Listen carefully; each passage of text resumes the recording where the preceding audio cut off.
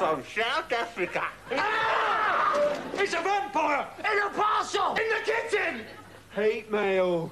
What are we gonna do? Only pop music can save us now!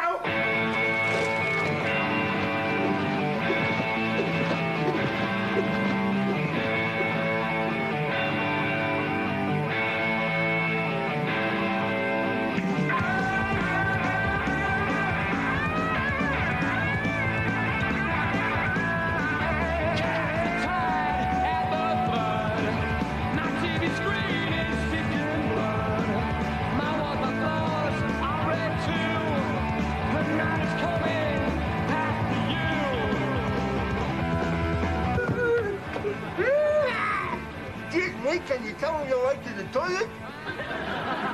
That's it.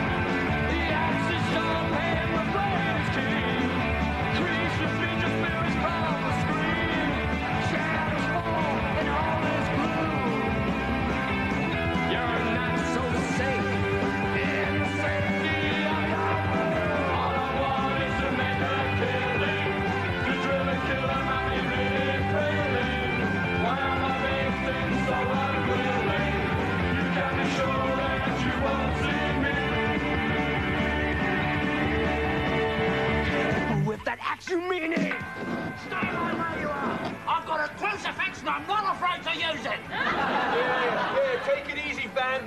You're messing with the big boys now.